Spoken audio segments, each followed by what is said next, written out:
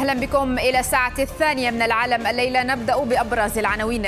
بالتزامن مع حرب غزة تحذيرات دولية من انهيار وشيك للسلطة الفلسطينية نتيجة الضغط الاقتصادي الإسرائيلي.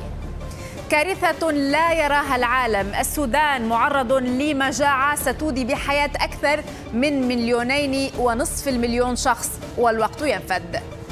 الاتحاد الأوروبي يجدد وجوهه. قادة الاتحاد يبحثون أسماء زعماء التكتل بعد الانتخابات الأوروبية ورئيسة المفوضية باقية. روسيا وكوريا الشمالية إلى ذروة تطور العلاقات. بوتين في زيارة إلى بيونغ يانغ هي الأولى منذ عقدين والتعاون العسكري على رأس الزيارة.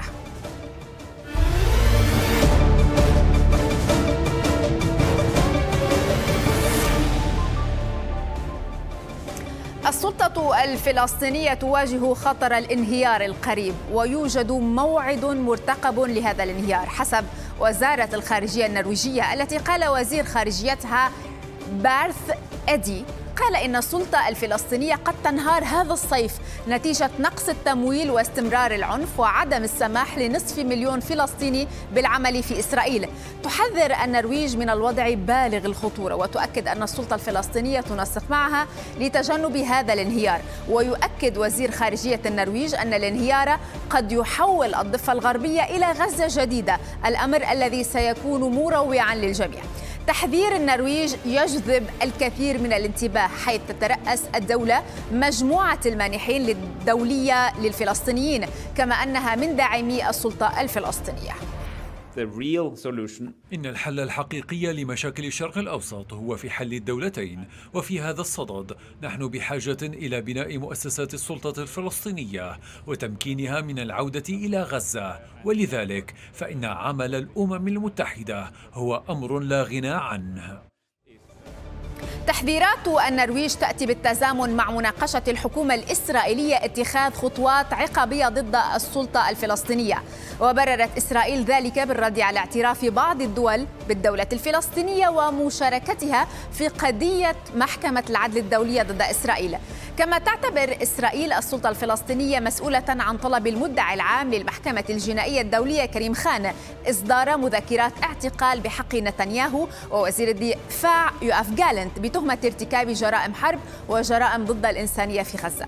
قبل أيام أمر وزير المالية الإسرائيلي بخصم 35 مليون دولار أمريكي من أموال ضرائب السلطة الفلسطينية وتحويلها إلى عائلات إسرائيلية تزعم أن أفرادا منها قتلوا بهجمات نفذها فلسطينيون. وتشكل أموال الضرائب التي تجمعها إسرائيل نيابة عن السلطة حوالي 65% من إجمالي الإيرادات الفلسطينية. الناس ما حاجة لا تصرف ولا تاكل. من ناحية الموظفين الموظفين معهمش لا معاشات يعني بياخذوا نص معاش. لا إيش ينفعهم. أجور دين يعني بده يسدوا الدين فيه. وأغلبية الناس قاعدة يعني. إحنا بوضع حرب ومش الحرب اللي اللي هي العسكرية بس بغزة. في عندنا إحنا حرب هون بالضفه الغربية من نوع ثاني نوع حرب اقتصادية وحرب على المواطن وحرب على على أرزاق المواطن بكل الأساليب بيستعملوها معنا. إنه وضع الناس كثير كثير مزري. لا في شغل في قلب إسرائيل ولا في موظفين. عندنا مصيبة إنه الموظفين مش قابضين. يعني بده يشتري ضحية لأولاده يطعمهم شقفة لحمة بده يبيع دارة عشان يشتري له شقفة لحمة. يعني الناس ما أنت شايف عمال فش. ما بيشتغلوش. عندنا 8 أشهر بحصار. حصار اقتصادي صعب. يعني مش بس في غزة حرب. عندنا حرب اقتصادية برضه. ومن ضمن الإجراءات العقابية لإسرائيل ضد السلطة الفلسطينية بناء المزيد من المستوطنات في الضفة. فما التفاصيل يا حنان؟ شكرا راوية. من المقرر أن تصوت الحكومة الإسرائيلية على مقترح تحت اسم تعزيز المستوطنات في الاجتماع المقبل لمجلس الوزراء الأمني دون أن يتم تحديد موعد لهذا الاجتماع. وزير المالية سموتريتش كان قد قال في مايو الماضي إن على إسرائيل الموافقة على بناء مستوطنات مستوطنات جديدة تشمل عشرة آلاف وحدة سكنية. وطلب أيضا بإنشاء مستوطنة جديدة مقابل كل دولة تعترف بالدولة الفلسطينية وإلغاء تصاريح سفر مسؤولي السلطة. الجدير ذكره أن الحكومة الحالية تتعامل مع ملف الاستيطان بأنه لا يخضع لأي قيود من أي نوع وزاد استفادت من إجراءاتها في الاستيطان بعد هجوم السابع من أكتوبر ولم يسبق في إسرائيل أن تعاملت أي حكومة مع هذا الملف بهذه الطريقة حيث يستغل وزير المالية سموتريتش منصبه لتغطية كافة المستحقات المالية المطلوبة للاستيطان كما يقطن العديد من وزراء الحكومة الحالية في الضفة الغربية. ينضم إلينا من رام الله مسؤول الإعلام في مفوضية التعبئه والتنظيم لحركة فتح عبد الفتاح دولة أهلا بك سيد عبد الفتاح هل سنشهد إفلاس أو انهيار السلطة الفلسطينية هذا الصيف كما تقول النرويج؟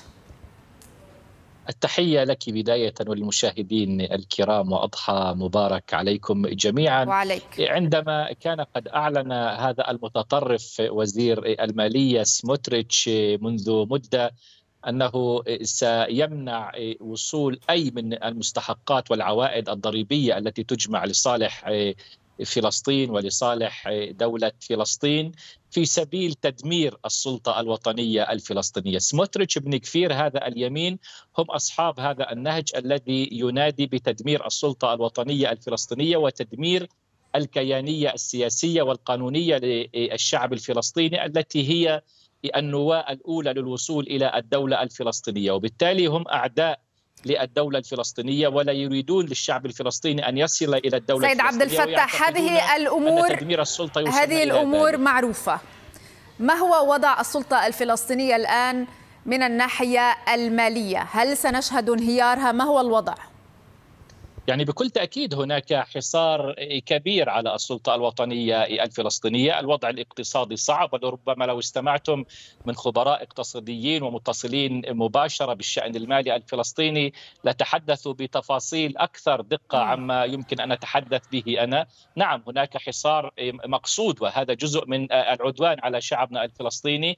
ولربما ستصل السلطة الوطنية الفلسطينية إلى مرحلة لا تكون قادرة على الإيفاء بالتزاماتها أمام هذا الحصار. اولا الحصار الذي ينتج عن سرقة أموالنا الفلسطينية وعن عدم وصول أي شكل من أشكال المساعدات إلى السلطة الوطنية الفلسطينية على عدم تفعيل شبكة الأمان التي كانت قد خرجت بها القمم العربية المتتالية. طيب على المستوى السياسي. وضع صعب. نعم هذا الوضع الصعب كيف يتم مجابهته؟ يعني ما الإجراءات؟ هل هنالك من اتصالات لتأمين بدائل؟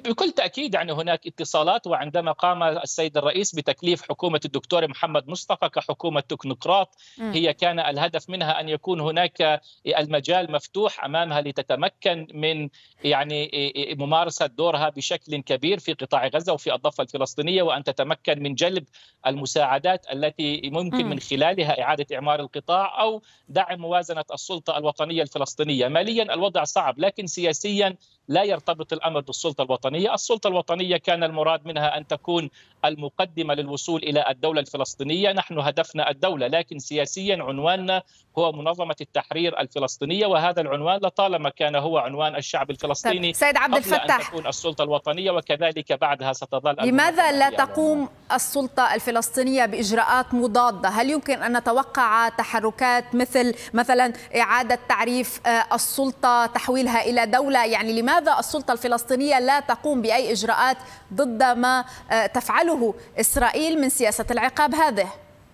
سيدتي نحن نقوم ونتحدث مع المؤسسات الرسمية والقانونية في هذا العالم لكن المنظومة الدولية لا تقوم بدورها ولكن المنظومة الدولية تطالب هذه السلطة بتجديد نفسها تطالب بانتخابات يعني هذه الحكومة حتى الآن ما الذي قدمته لتخفيف الأعباء الاقتصادية عن المواطن يعني في الضفة؟ وإن كان ما تتحدثين به مهما هل يمكن للشعب الفلسطيني أن يعيش حياة طبيعية ويمارس عملية انتخابية وديمقراطية في ظل وجود الاحتلال؟ على العالم أن يكون واضحا وعادلا عليه أن يقوم بإنهاء الاحتلال والعدوان وتمكين الشعب الفلسطيني وإيصاله إلى المرحلة التي بامكانه أن يدير شؤون حياته الفلسطينية ويقيم. انتخابات في كل مكان في فلسطين، يجب عليهم الا يتحدثوا في هذا الأمر بالقدر الذي عليهم أن يقوموا بفرض دورا دوليا لإنهاء العدوان والاحتلال ولرفع الحصار عن الشعب الفلسطيني ولإحقاق حقوق الشعب الفلسطيني حتى يكون قادرا على ذلك، سيدتي المشكلة ليست في السلطة الوطنية وفي سياساتها، يعني في كل استحقاق وفي كل مواجهة مع هذا الاحتلال يتذرعون وتحديدا أمريكا بالسلطة الفلسطينية، غالب دول العالم تتحدث عن أداء المؤسسة الفلسطينية أنه أداء متقدم، لكن لماذا اليوم عندما يكون هناك استحقاق وترفض دولة الاحتلال وتواجه أمريكا؟ الموضوع سياسيا وليس طيب الموضوع سياسي ولكن هل يمكن سيد عبد الفتاح أن نرى يعني كما حصل في غزة 7 أكتوبر جديد. يعني هل هذا التضييق قد يؤدي إلى ثورة من الناس إن كان على السلطة أو حتى على ما تقوم به إسرائيل؟ يعني لا يمكن في الضفة أن يكون هناك ثورة على السلطة. إن كان سيكون هناك مواجهة مفتوحة نحن كنا نرغب أن لا تتسع المواجهة وأن لا ينزف الدم الفلسطيني أكثر مما هو عليها. الوضع الطبيعي أن لا يكون هناك دم ومواجهة مع الاحتلال. الوضع الطبيعي أن يعيش الشعب الفلسطيني في حالة استقرار.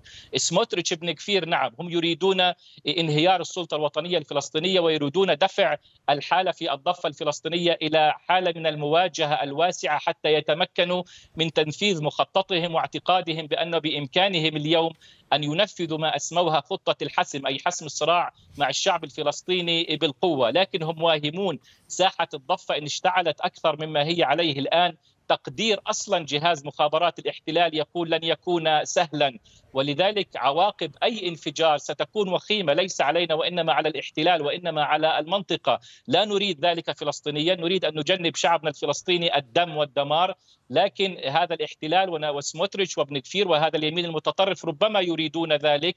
وإن أرادوا ذلك عليهم أن يتحملوا التبعات ونتائج هذه المواجهة، نعم. لا يمكن للشعب الفلسطيني أن يظل صامتا على حقه وعلى كل ما يتعرض له من ظلم وعدوان وحصار وهذا الوضع الصعب وضيق العيش الذي يعيش نعم. به الشعب الفلسطيني، نتمنى أن نتمكن الخروج من ذلك للشعب الفلسطيني سالما، لكن لربما لا يريد الاحتلال ذلك ويكون القادم أصعب بكثير مما شكرا. يتخيل هذا المجنون سموتريتش وابن كفير. شكرا جزيلا لك من رام الله مسؤول الإعلام في مفوضية التعبئه والتنظيم لحركة فتح عبد الفتاح دولة. شكرا. أكد ولي العهد السعودي الأمير محمد بن سلمان أهمية تحرك المجتمع الدولي لضمان حماية الأرواح في قطاع غزة وقال الأمير محمد بن سلمان إن عيد الأضحى يحل مع استمرار الجرائم الشنيعة على الأشقاء في غزة مؤكدا أهمية تنفيذ قرارات مجلس الأمن بشأن القطاع يحل علينا عيد الأضحى المبارك مع استمرار الجرائم الشنيعة على أشقائنا في قطاع غزة. وإننا نؤكد ضرورة وقف الفوري لهذا الاعتداء فإننا نناشد بأهمية تحرك المجتمع الدولي لاتخاذ جميع الإجراءات التي تضمن حماية الأرواح في غزة. كما نؤكد أهمية تنفيذ القرارات الصادرة مؤخرا من مجلس الأمن الدولي بشأن مقترح الوقف الفوري لإطلاق النار في قطاع غزة. وتجدد المملكة دعوتها للمجتمع الدولي بالاعتراف بدولة فلسطين المستقلة على حدود 67 وعاصمتها القدس الشرقية لتمكين الشعب الفلسطيني الشقيق من الحصول على حقوقه المشروعة وليتحقق السلام الشامل والعادل والدائم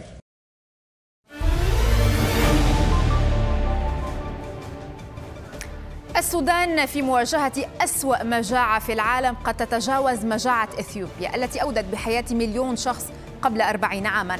الحرب المتواصلة منذ أكثر من عام تواصل منع وصول المساعدات إلى مستحقيها.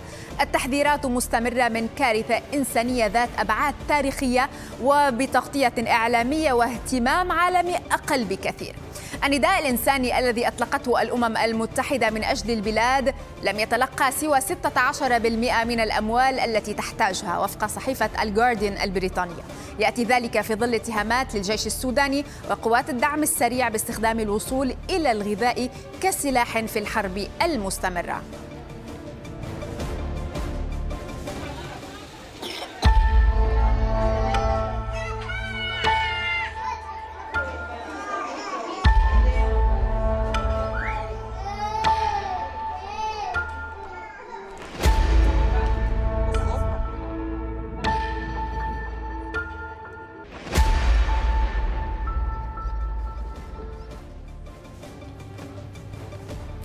سفيرة واشنطن لدى الأمم المتحدة ليندا توماس جرينفيلد قالت إن هناك حاجة لأن يستيقظ العالم على الكارثة التي تحدث أمام أعيننا في السودان. المسؤولة الأمريكية أضافت أنه في أسوأ السيناريوهات يمكن أن تصبح المجاعة في السودان أكثر فتكا من مجاعة إثيوبيا في أوائل الثمانينات. التوقعات تشير إلى إمكانية وفاة ما يزيد عن 2.5 مليون شخص أي حوالي 15% من السكان في دارفور بحلول نهاية سبتمبر المقبل. أسباب وصول السودان إلى هذا الحال تتمثل أساسا في استمرار العمليات القتالية ما يصعب ويمنع وصول المساعدات الإنسانية إلى من يحتاجها. هذا فضلا عن اتهامات لطرفي الصراع باستعمال الغذاء كسلاح هناك. تنضم إلينا من القاهرة الدكتورة نازك أبو زيد رئيسة مكتب أطباء السودان من أجل حقوق الإنسان. أهلا بك معنا. أبدأ معك سيدة نازك من أكثر المدن السودانية جوعا.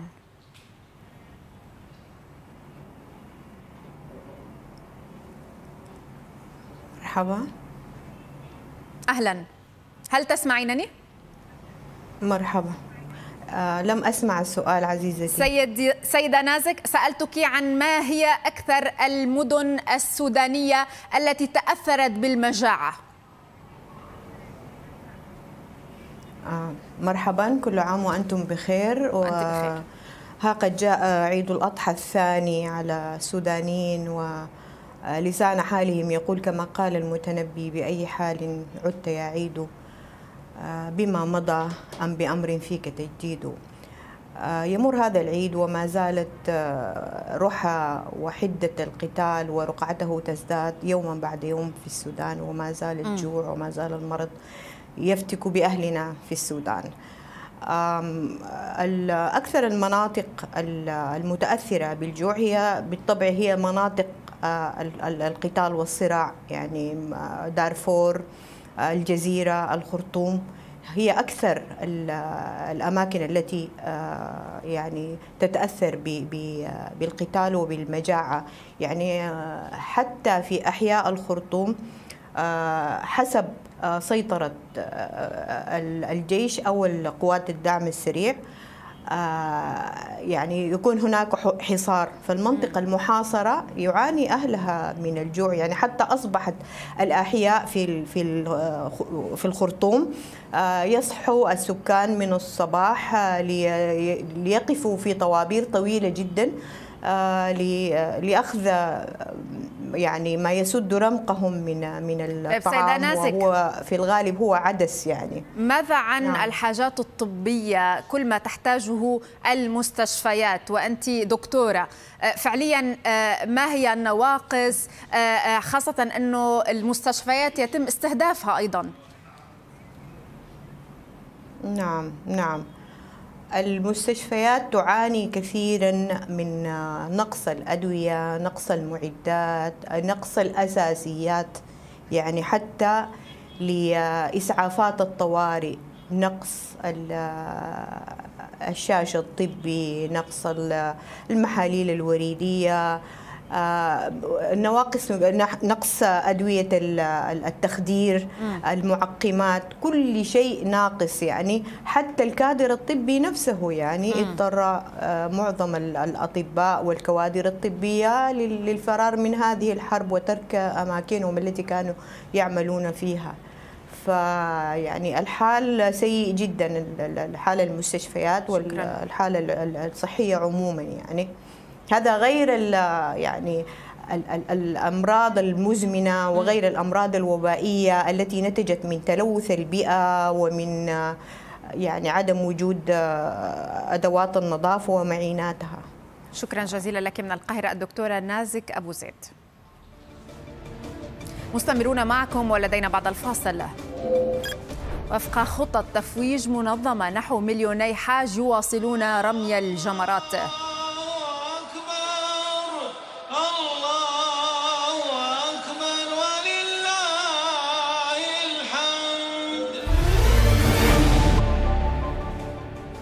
أهلا بكم. شهدت منشأة الجمرات منذ بعد ظهر اليوم توافدا كبيرا للحجاج الذين توجهوا لرمي الجمرات الثلاث في أول أيام التشريق. يأتي توافد الحجاج ضمن الخطط التي وضعتها الجهات الأمنية والتنظيمية وفق جداول محددة لكل حملة حج لضمان سلاسة دخول وخروج الحجاج وعدم حدوث حالات ازدحام حول الجمرات أو تدافع بين الحجاج. المنشأة المكونة من خمسة طوابق شهدت حضورا مكثفا على امتدادها للفرق الصحية والإسعافية والإرشادية التي تقدم خدماتها للحجاج طوال اليوم على امتداد فترة وجودهم في مشعر منى.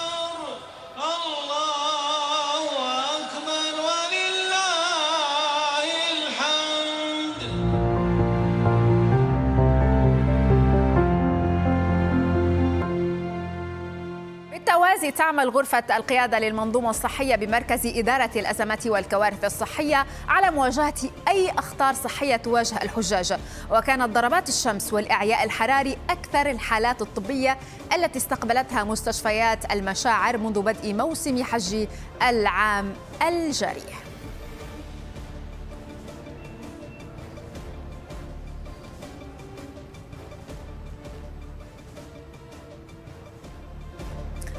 ينضم إلينا مراسل العربية عبد الرحمن العصيمي أهلا بك عبد الرحمن. أنت في الحرم المكي. كيف هي خطة تفويج الحجاج حتى الساعة؟ نعم راوية نحن في صحن المطاف في الحرم المكي الشريف وتسير خطط تفويج الحجاج من الجمرات إلى الحرم المكي وفق خطة زمنية محددة ومنظومة متكاملة من جميع القطاعات. سادع زميلي وليد يأخذ لنا جولة في صحن المطاف. كما نشاهد الآن بدأ الازدحام يخف بعض الشيء مقارنة بالساعات الماضية بالنسبة للحجاج في صحن المطاف. متوقع يوم غد يكون يوم مزدحم للغاية لأن الكثير من حجاج الداخل يفضلون التعجل ومغادرة المشاعر المقدسة يوم غد وأداء طواف الوداع. غدا تقريبا حوالي الساعة يعني بعد صلاة الظهر سيبدأ الازدحام شيئا فشيئا حتى ساعات المساء المتأخرة. غدا ربما سيتم امتلاء صحن المطاف بالكامل في الدور الأرضي وأيضا الدور الأول والدور الثاني وربما أيضا سطح المسجد الحرام. طبعا كل هذه العمليات عملية التنظيم ترافقها قوات أمنية تشرف على كل صغيرة وكبيرة لحماية ضيوف الرحمن وتقديم الدعم اللازم لهم. إذا ما تحدثنا عن عدد المتطوعين مثلا على سبيل المثال في الحرم المكي تقريبا أكثر من خمسة آلاف متطوع صحي يقدمون الخدمات الصحية بشكل كامل للحجاج بالإضافة إلى تخصيص مداخل خاصة للحجاج ومخارج أيضا في الحرم المكي منعا للازدحام وأيضا لمحاولة سلاسة التحرك بالنسبة للحجاج. تفضلي راوي إلى جانب الخدمات الصحية والإرشادية ما الخدمات المقدمة للحجاج؟ وقفت الرنن خربت الرنن. نعم راوية. إلى جانب الخدمات الصحية إلى جانب الخدمات الصحية التي تقدم من قبل الجهات المختصة ما هي الخدمات الأخرى التي تقدم للحجاج؟ نعم خدمات متنوعة راوية بالنسبة للحجاج. إذا ما تحدثنا في الحرم المكي على سبيل المثال هناك عربات جولف مخصصة للطواف لكبار السن والنساء والأطفال. عربات الجولف هذه موجودة في الدور الأول والدور الثاني وسطح المسجد الحرام.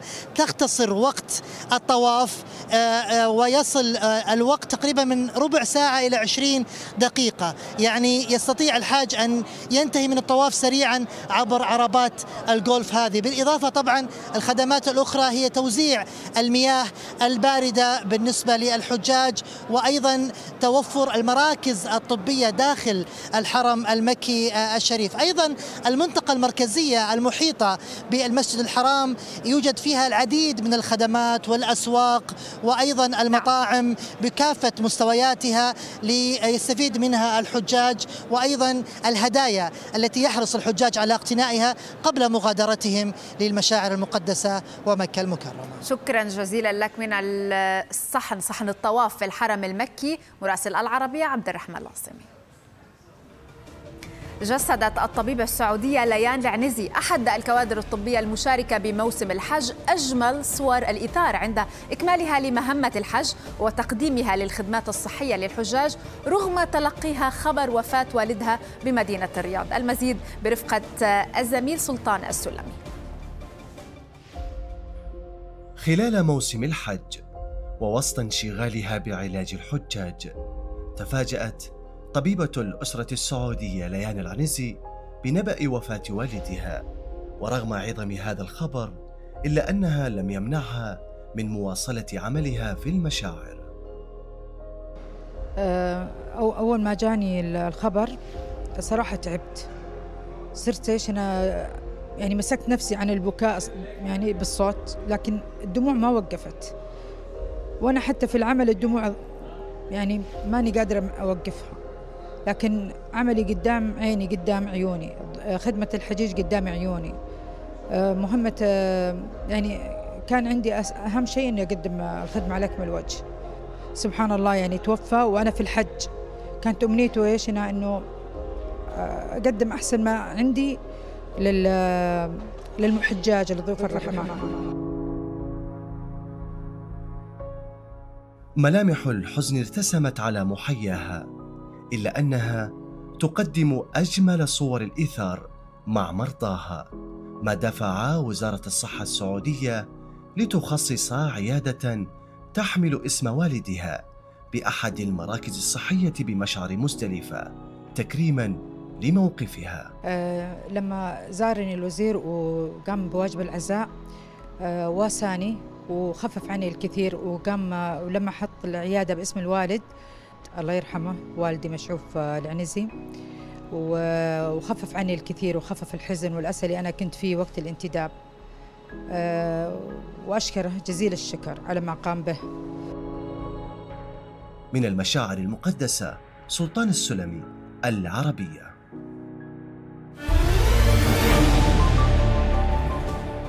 قبل أن نستكمل ملفات العالم الليلة هذا موجز لأهم الأنباء. قال نائب في الكنيست الإسرائيلي عن حزب الليكود الذي يترأسه بنيامين نتنياهو إن الحكومة الحالية فشلت في تحقيق أي إنجازات. شدد النائب في الكنيست إلياهو رفيف على ضرورة إجراء آه، انتخابات مبكرة مضيفا أن إسرائيل وأمنها يجب أن تكون الأولوية لدى أي حكومة. أعلن المتحدث باسم الخارجية الأمريكية ماثيو ميلر أن واشنطن ستفرض عقوبات على تسعة أفراد وكيانات سهلت شراء الأسلحة للحوثيين في اليمن. وفي السياق ذكرت وزارة الخارجية في بيان العقوبات تهدف إلى حظر جميع الممتلكات والمصالح الخاصة بالأفراد والكيانات التي ستتم معاقبتها. لقي أحد عشر شخصا مصرعهم وفقد العشرات في غرق قاربين للمهاجرين غير النظاميين قبالة الساحل الإيطالي. أحدها آت من تركيا والآخر من شمال أفريقيا. وأعلن خفر السواحل في إيطاليا إنقاذ 12 شخصا من مركب شراعي غرق قبالة سواحل كالابريا جنوب البلاد. أكدت أوكرانيا أن روسيا كثفت هجماتها على الجبهة الشرقية لإنهاك القوات الأوكرانية إلى أقصى حد قبل وصول مقاتلات أف 16 وقال قائد الجيش الأوكراني ألكسندر سيرسكي إن قيادة القوات الروسية تبذل حاليا كل ما في وسعها لزيادة وتوسيع حدة الأعمال القتالية من أجل إنهاك قواتنا إلى أقصى حد. قال معهد ستوكهولم الدولي لأبحاث السلام إن الدول المسلحة نوويا تعزز من ترساناتها النووية في مواجهة الصراعات العديدة على مستوى العالم. وذكر التقرير أن ما يقرب من 9580 رأسا حربيا نوويا تم تسجيلها لاحتمال استخدامها في يناير الماضي.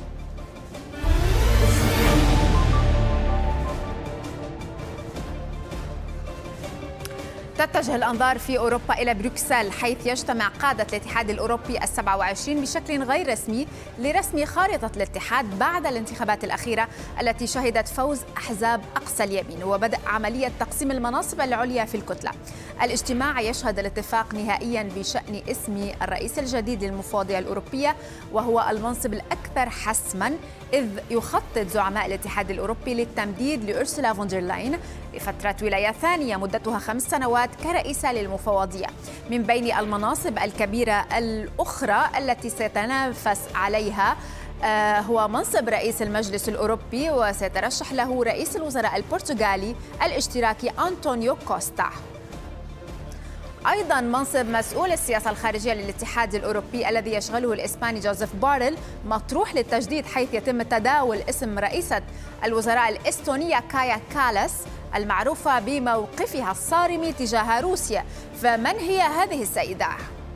كايا كالاس ضمن عدد المسؤولين في دول البلطيق تضعهم روسيا على قائمة المطلوبين إذ تعتبرهم موسكو يرتكبون أعمالا معادية لها. فوزارة الداخلية الروسية أصدرت في فبراير الماضي مذكرة بحث ضدها ووضعتها على قائمة المطلوبين بتهم جنائية. موسكو سبق واتهمت دول البلطيق بالسعي لتخريب الانتخابات الرئاسية التي اكتسحها فلاديمير بوتين كايا كالس تعتبر من أكثر المؤيدين المتحمسين من بين قادة الاتحاد الأوروبي لنظام فولوديمير زيلينسكي في أوكرانيا. كما أعلنت أنها تخصص صفر, صفر فاصل 25% من الناتج المحلي الإجمالي لإستونيا لتلبية الاحتياجات العسكرية لأوكرانيا خلال أربعة سنوات. من بين أسباب العداء بين كالاس وموسكو أنها اقترحت في وقت سابق أن يفرض جيران روسيا حظرا تجاريا موحدا ووضع مجلس وزرائها قانونا لإطفاء الشرعية على الاستيلاء على الأصول الروسية.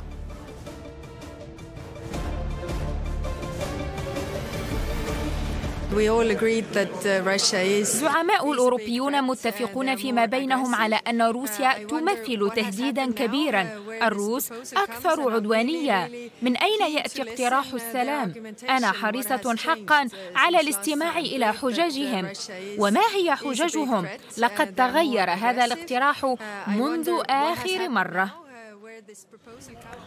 ينضم إلينا من بروكسل نور الدين الفريدي مراسل العربية. أهلا بك معنا نور الدين.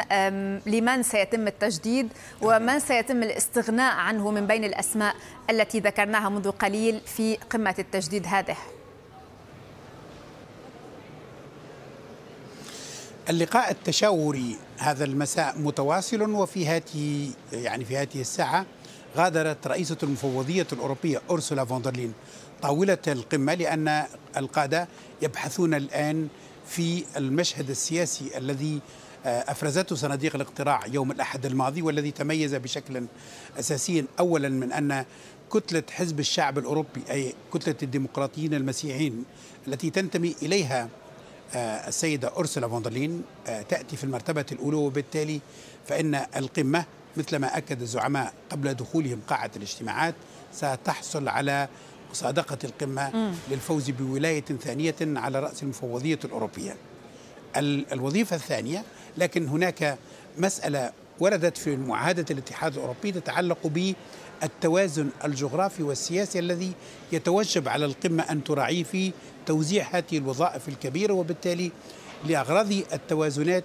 السياسية والجغرافية في الاتحاد فإن رئيس الوزراء البرتغالي السابق أنطونيو كوستا وهو اشتراكي ينتمي إلى الكتلة الاشتراكية وهي ثاني كتلة في البرلمان الأوروبي وبالتالي سيخلف رئيس المجلس الأوروبي شارل ميشيل في هذا المكان حيث نقف أمامكم. بقيت الكتلة الليبرالية وهي الكتلة الثالثة في البرلمان. سيكون من نصيبها ملف السياسة الخارجية والأمن الأوروبية والسيدة كايا كلاس مثل ما تفضلتم هي المرشحة الوحيدة إلى حد الآن ولكن النقاش بشأن السيدة كايا كلاس لخلافة جوزيف بوريل لا يزال مفتوحا لماذا؟ لأن بعض الدبلوماسيين خاصة من الدول الغربية يخشون من الحماسة التي أبدتها السيدة كايا كلاس على مدى سنتي الحرب بين روسيا وأوكرانيا وأن يكون ذلك عائقا في تقدم السياسة الخارجية أو في إبلاغ الموقف الأوروبي خاصة وأن مسؤول السياسة الخارجية أو مسؤولة السياسة الخارجية يعني تحمل بين يديها ملف حساس للغاية يتعلق بالعلاقات الخارجية يتعلق بالأسلوب الدبلوماسي والسيدة نعم. كايا كلاس تفتقد هذا الأسلوب على الأقل على مدى سنتين في علاقتها وحديثها عن روسيا لكن لا تعرف لها مواقف خاصة فيما يتعلق بالمنطقة طيب. العربية. لذلك هناك لا يزال بعض الشكوك وأن النقاش مفتوح بشأنه. تفضل. كان هناك تصريح لافت لأولاف شولتز قال فيه نمر بأوقات صعبة وعلينا أن نعرف ما الذي ينتظرنا.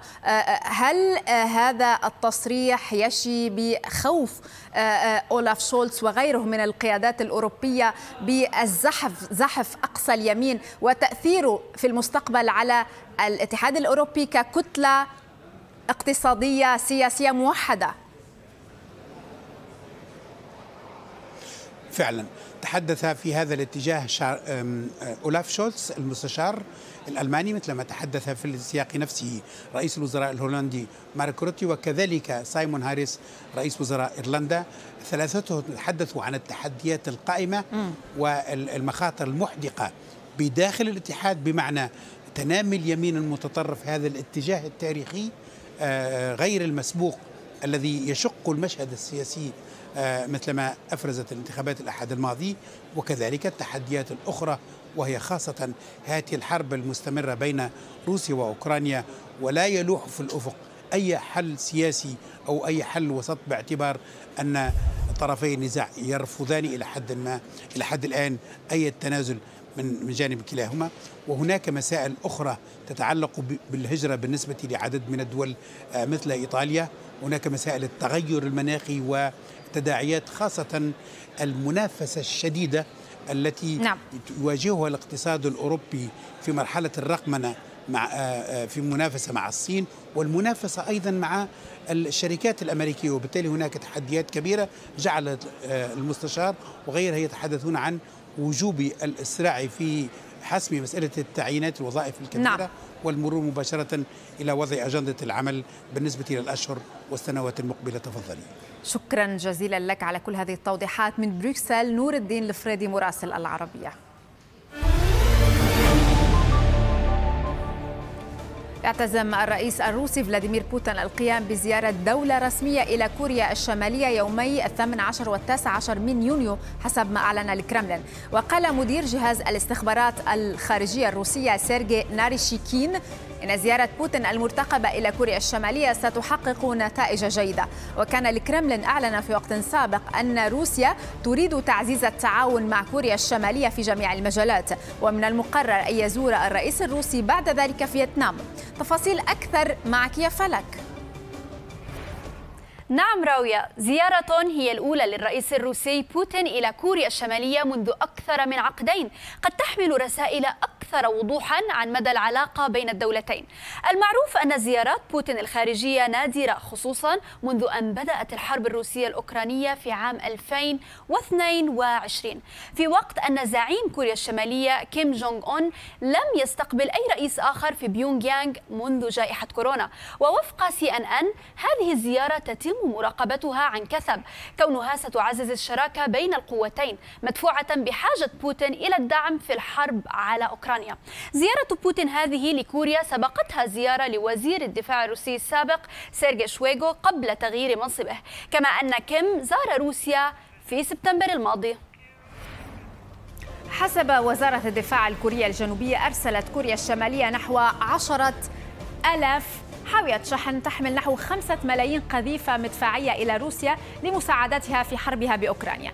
كما تؤكد سول أن كوريا الشمالية أرسلت أيضا صواريخ باليستية تم استخدامها في حرب أوكرانيا وأكد الأوكرانيون ذلك عبر بقايا الصواريخ التي عثروا عليها.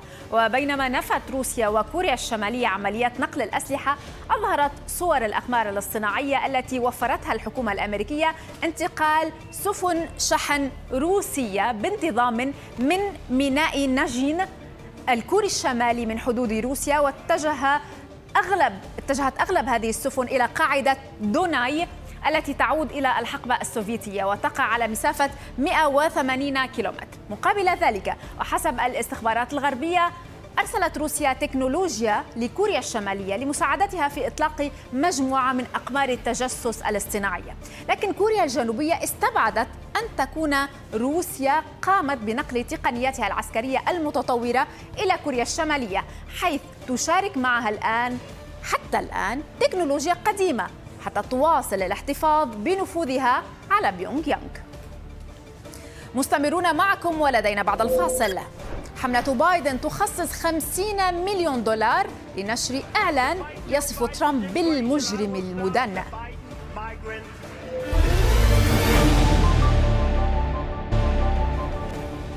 أهلا بكم من جديد. الاتهامات المتبادلة بين الرئيس جو بايدن وخصمه الجمهوري دونالد ترامب مستمرة باستمرار السباق بين الرجلين للفوز بالانتخابات الرئاسية المقبلة. ترامب مجرم مدان. عنوان لحملة دعائية أطلقتها حملة بايدن. تسلط الضوء على مشاكل ترامب القانونية وإدانته الأخيرة ب 34 تهمة جنائية بنيويورك. وخصصت حملة بايدن 50 مليون دولار فقط لهذا الشهر لتحقيق أهدافها من هذه الحملة الدعائية ضد ترامب التي تأتي قبل نحو أسبوعين فقط من أول مناظرة ستجمع الرئيس بايدن وترامب. ووصفت الحملة الدعائية من قبل مراقبين بالأكثر عدوانية لمهاجمة ترامب من قبل حملة بايدن. وركزت الحملة الدعائية من قبل مديرية حملة بايدن على سرد تفاصيل إدانة ترامب في 34 تهمة جنائية. ووصفت الانتخابات المقبلة بأنها ستكون بين مرشح مجرم مدان حسب قولها ورئيس يدافع عن مصالح أمريكا. في قاعة المحكمة شاهدنا دونالد ترامب على حقيقته مدانا ب 34 جناية ومسؤولا عن اعتداء جنسي كما ارتكب احتيالا ماليا. في حين جو بايدن كان يعمل على خفض نفقات الرعاية الصحية ويجبر الشركات الكبيرة لدفع ما عليها. هذه الانتخابات ستكون بين مجرم مدان يهتم بنفسه فقط ورئيس يدافع عنك أنا جو بايدن وأنا أدعم هذه الرسالة. لأول مرة تشهد الانتخابات الرئاسية في أمريكا علاقة دراماتيكية بين أسماء المرشحين للسباق الرئاسي وقاعات المحاكم فبعد اتهام ترامب ب 34 تهمة جنائية كأول رئيس أمريكي سابق يدان وهو في خضم سعيه للعودة للبيت الأبيض يبدو أن عائلة الرئيس جو بايدن هي الأخرى لها فصول مع هذه المحاكمات فما التفاصيل يا مولود؟ بينما كان جو بايدن يكرر وصف ترامب بالمدان تتكشف تفاصيل أكثر عن متاعب قضائية في حق ابنه هانتر وابنته أيضا آشلي وإدمانهما للمخدرات.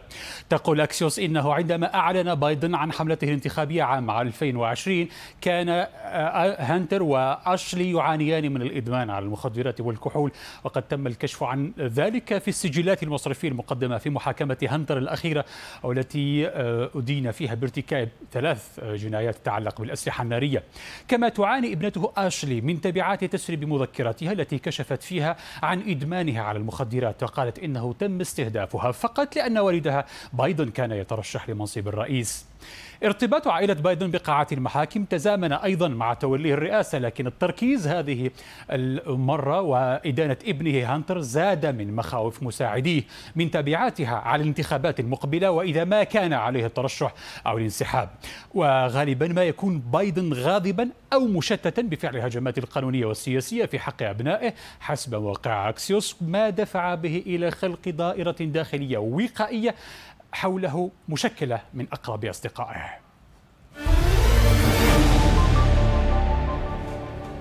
وفي بريطانيا قلق لدى حزبي العمال والمحافظين من تنامي شعبية تيارات أقصى اليمين التي تطرح آراء إشكالية فيما يتعلق بمعالجة مسائل المهاجرين والمسلمين والعمال الأجانب. وقد تزايد النقاش خصوصا مع تنامي شعبية حزب الإصلاح اليميني الذي أظهرت بعض استطلاعات الرأي اقترابه من حزب المحافظين. التفاصيل مع ريما مكتبي. اطردوا المهاجرين والمسلمين واليد العاملة الأجنبية وأعيدوا بريطانيا للإنجليز البيض. هذه شعارات أقصى اليمين وموسم الانتخابات فرصة ذهبية لنشرها من برلمان أوروبا وصولا إلى مجلس العموم البريطاني. والأرقام تتحدث فبعض استطلاعات الرأي تؤشر لتنامي حزب الإصلاح اليمني لدرجة أنه سبق المحافظين وحل ثانيا بعد العمال. من المؤكد أن فراج وحزب الإصلاح يشكلان تهديدا لصوت المحافظين في إنجلترا وسوف نسمع المزيد عن هذه الأجندات الناشئة والمتغيرة والتي تستقطب الأصوات الأساسية للمحافظين. تسير في شوارع بريطانيا فتظن أنها حضن دافئ لكل البشر بغض النظر عن اللون والعرق والجنس. هذا في الظاهر. أقصى اليمين يمد أذرعه في غالبية التيارات السياسية. حزب المحافظين شهد مدا يمينيا شرسا إثر حدوث بريكزيت وحول ترحيل طالبي اللجوء غير القانونيين إلى رواندا.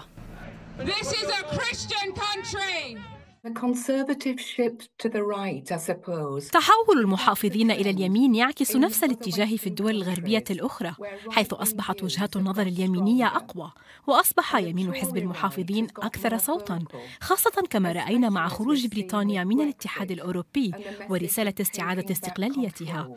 وهذا الصوت اليميني يجذب أولئك الذين يشعرون بنسيانهم في بلد ليس كما كان وتزايد هذا السخط والشعور بالاستياء منذ جائحة كورونا.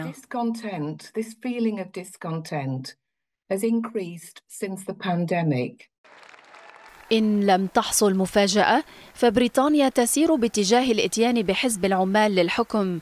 حزب تتراوح اتجاهاته بين وسط وأقصى اليسار.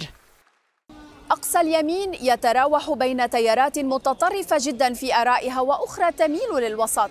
وقد لا يصل لحكم بريطانيا لكنه من المؤكد سيزعزع استقرار العمال والمحافظين وقد يصل لحكومة الظل.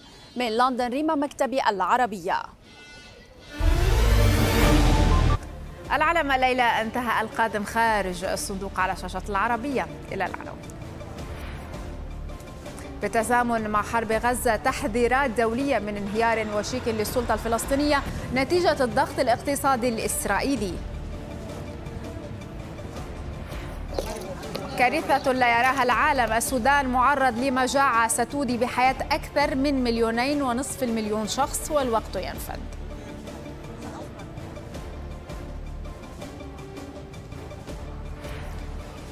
الاتحاد الأوروبي يجدد وجوهه. قادة الاتحاد يبحثون أسماء زعماء التكتل بعد الانتخابات الأوروبية ورئيسة المفوضية بقية